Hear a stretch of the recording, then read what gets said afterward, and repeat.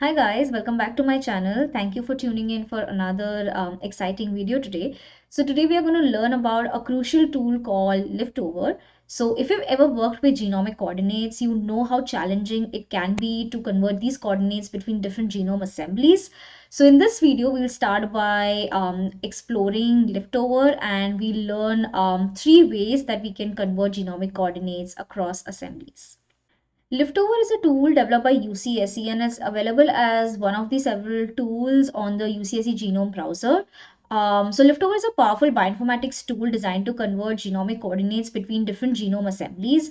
Um, genome assemblies are updated periodically to incorporate new and improved new data with improved accuracy. So these updates can change the reference coordinates for gene variants and um, other genomic features, creating challenges for researchers who need to compare this data across different assemblies. This is where Liftover comes in. So Liftover uses alignment data between different genome assemblies to map coordinates from one assembly to another. Um, so let's say you want to map coordinates and convert coordinates from HG19 or GRCH37 to GRCH38 or HG38.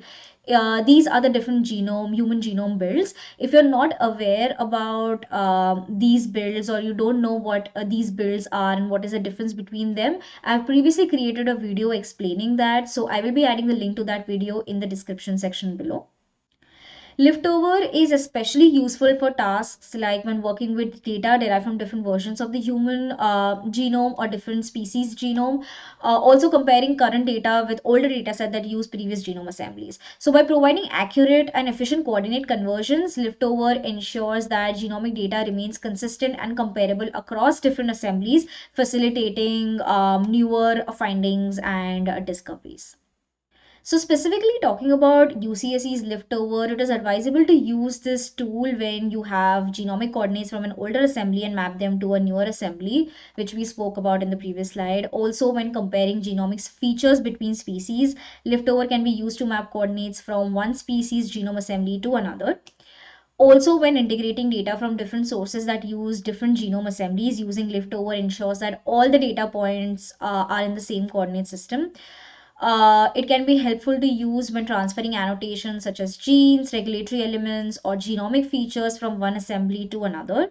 And also for historic uh, data reanalysis uh, to reanalyze older data set that were mapped using previous versions of the genome. liftover can help bring these data set to the current assembly versions for compatibility with recent tools and resources.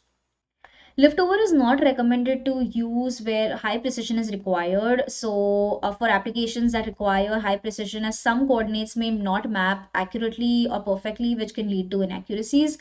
Also for regions uh, with high genomic variability such as structural variants, segmental duplications or regions with many small insertions or deletions, Liftover might not accurately map these regions. Um, they also uh, recommend to not use it to deal with uh, mapping the uh, SNPs or single nucleotide polymorphisms, where even minor inaccuracies in mapping can have significant effects. Instead, um, they have listed down um, a set of steps that need to be uh, that need to be performed and an approach that needs to be taken in order to map the RSIDs or the SNP IDs um, from one assembly to another. And I will be adding the link to that from their official documentation in the description section below. Liftover can fail for regions that have undergone extensive changes between assemblies leading to incomplete um, coverage. If significant portion of your regions of interest cannot be mapped, then liftover may not be suitable. When the coordinate system or reference genome used in your analysis um, differs significantly from the standard assemblies supported by liftover, that can result in poor mapping accuracy. There are plethora of tools that are available, um, which some are UCSC liftover based, uh, some are just the wrapper scripts, and some employ different solutions to convert coordinates across assemblies. Um, so there are a couple of options. There are definitely more options here, but here I'm just going to demonstrate the three options. So there is UCSC Genome Browser, which is the most easiest and the quickest solution, which provides the browser support. And in a short while, I will be demonstrating how we can utilize the um, uh, this tool on their uh, website and how we can convert the coordinates between uh, assemblies. Um, Galaxy also provides a liftover uh, tool uh, and it supports the BED file, GFF, and GTF um, input files. um, there are also R packages available. One of the R package that we are going to use and I'm going to demonstrate today to convert the coordinates is RTrackLayer, which is a bioconductor package that implements liftover and has the same functionalities as liftover. The command line version of the liftover is also available. And in addition to that there are also command line tools and wrappers which are not uh, liftover based but have provide different solutions are based on different solutions but ultimately provide the ability to convert the coordinates across assemblies or across species uh, among which CrossMap is an, uh, is one example which I will be demonstrating today. It's a great tool because it provides support to a wide range of um, NGS file formats like including SAM files, BAM files, uh, BigWig files, BED files, GTF, GFF, VS, VCF files. Um, it's it's Python based and it's arguably very fast than any other option available um, dealing with the uh, big bed or the BAM files. Um, lastly, I also want to mention about something called as a chain file. So chain file, you will be noticing that we will be using chain files um, to convert uh, for for some of the methods we'll be using chain file to convert the coordinates from one file to the other. A chain file is nothing but it's a pairwise alignment between two reference assemblies. Um, and these uh, UCSC and Ensembl chain files are available on the web to be downloaded and to be used with your um, whichever liftover method that you choose to um, use so the first method that we will be looking at is using the liftover tool on the UCSC um, genome browser page. So this is the UCSC genome browser and under the tools, there are a lot of tools available and we'll be using the liftover today. So this is pretty straightforward. Um, so here we choose the original genome, um, the genome in which we have our coordinates in. So you can choose amongst uh, which of the uh, genome build that you have your coordinates in. You can also choose the genome um, that you're working with. So right now I would quickly want to show you the data that I have. So this are the these are the test coordinates that I want to lift over. So these are in HG19 uh, and I want to convert it to HG38. So this is a previous version of the human genome build and I want to um, uh, convert or uh, map these coordinates to the latest assembly or a newer assembly rather. So I'm going to be using these coordinates. So here I'm working with the human genome. So I selected human and um, this is the build. Uh, these my coordinates are in HG19 and I want to convert it into human and HG38. There are newer builds available as well, but I want to convert it to the HG38. The rest of the parameters I'm not going to change. Um, you can hover over each of these small eyes to get more information and you can change them according to your requirement. So here you can either paste your um, coordinates, uh, but I'm going to just upload my file here by choosing, uh, by clicking on the choose file. And I'm going to select my file and then I'm going to click on submit file. So it's pretty simple. Uh, I get my results um, at the bottom and it says that it has successfully converted four records and I can now um, view my conversions. So when I click on this, it uh, opens a dialog box and allows me to save my converted coordinates on my system. Let us go to the file that we just saved and here um, these are essentially the first three uh, columns are the columns from the assembly that you map to. That is the newer assembly in our case. So these are the HG38 coordinates. And the fourth column here are your original coordinates. So basically this in your older assembly maps to this region in your new assembly um, similarly goes for all the following rows. So these are our original coordinates which are mapping to HG19 coordinates which are mapping to these coordinates to these regions in our HG38 assembly. So this is one way of converting your uh, and mapping your coordinates from one assembly to the other. This is perhaps the most straightforward way uh, to map your um, coordinates across assemblies. So another method of uh, mapping your genomic coordinates across different assemblies is by using a tool uh, like CrossMap. CrossMap is a great tool because it supports a lot of uh, commonly used uh, NGS file formats uh, and these are the file formats that it supports.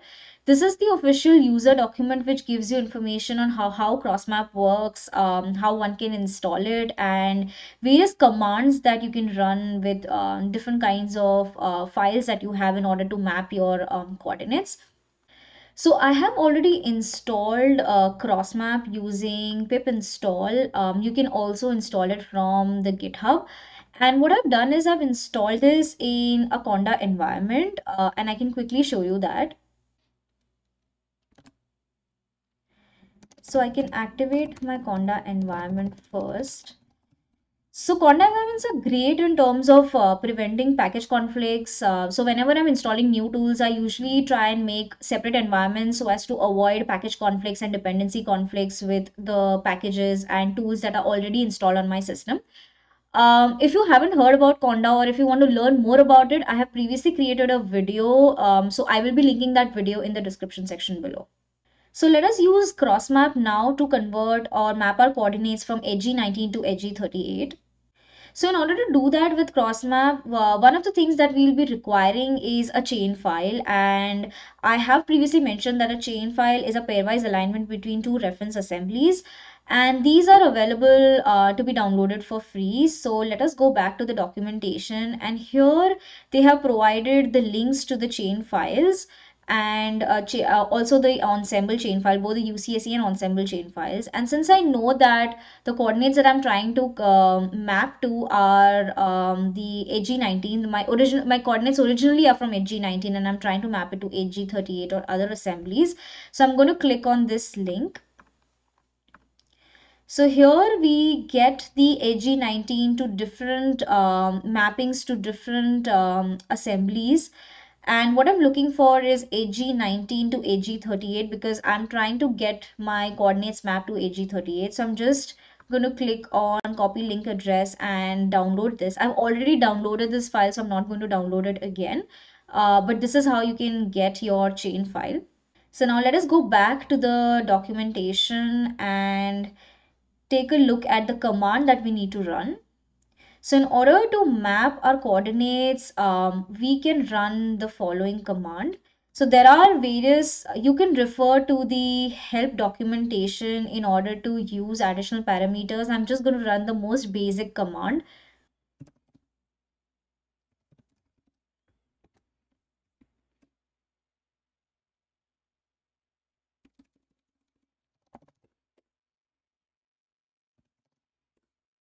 My coordinates are present in the data folder. And now let's run this. So here we have the mappings between both the assemblies. So the first three columns are our original uh, coordinates that are HG19 coordinates and the rest three um, columns are our HG38 based coordinates.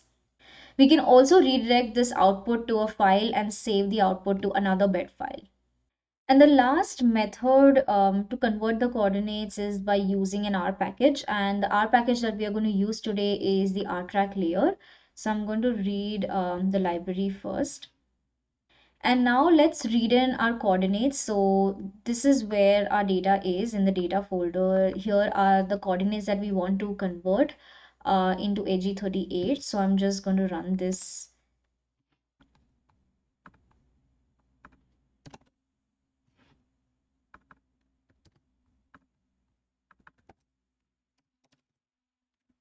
So here are the coordinates that we want to convert. And I'm just going to um, assign the column names. So this is the chromosome start and end. And in the next step, we convert these coordinates into a GRanges object. So this is a simple data frame right now. We want to convert this into a GRanges object. And we do this using the GRanges function. So here is our GRanges object with the column, the sequence name and the ranges, that is a chromosome and the ranges that we want to convert. And finally, uh, we read in the chain file. So we have already downloaded the chain file. So the chain file right now is in a .gzip format. It's uh, a in a compressed format. So we just want to um, decompress this file before we provide it to the program. So now that we have decompressed it, we can use this uh, file and it's present in the chain file um, directory. And now let's run this. So here is our chain object. And the next aspect is to run liftover we can there is um, a wrapper function called liftover that runs the liftover um, on the object on the ranges that you have provided on your coordinates using the chain object. So we basically provide our GRanges object and our chain object to the liftover um, function. And the output of that would be saved as a data frame in the results um, uh, object. So let us run this and finally taking a look at the result here we have our uh, converted um, HG38 coordinates for um, these coordinates. So basically these coordinates the result would not show the original um, HG19 coordinates. Rather these are the mapped HG38 coordinates so that was all I had for this video. I hope it was helpful to learn uh, the different ways uh, you can convert the genomic coordinates across assemblies. Uh, I will be uploading uh, my small R script where I use the rtracklayer to convert the coordinates onto my GitHub repository and I will be linking that in the description section below. So if you enjoyed this video, please consider giving it a thumbs up. Um, don't forget to subscribe to my channel for more bioinformatics related content. If you have a question or a suggestion or a comment, please uh, make sure you leave it in the comment section below. Uh, share this video with your friends and co-workers if you found it helpful. Uh, please stay tuned for uh, more bioinformatics related content. I really appreciate your support and I'll see you in the next video.